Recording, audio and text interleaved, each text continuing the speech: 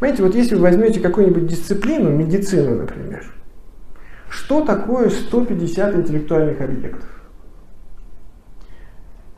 Вас никогда не удивляло, что вот нету врачей, которые вот все могут лечить? Ну, врач же его уже учили, да? И, и, все, все дисциплины проходили. А когда вы ему приходите и говорите, у меня тут что-то живот болит, вы, ну, не-не-не, это вот гастроэнтерологу пойди. А его мозг не держит больше 150 объектов.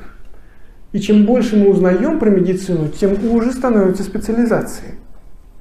Потому что количество знаний, которые может удерживать отдельно взятый мозг отдельного врача, ограничено. И если наука знает об этом больше, то дальше у нас появляются отдельные специалисты по отдельной болезни. Потому что их мозг, когда они думают о чем-то, способен учитывать только 150 аспектов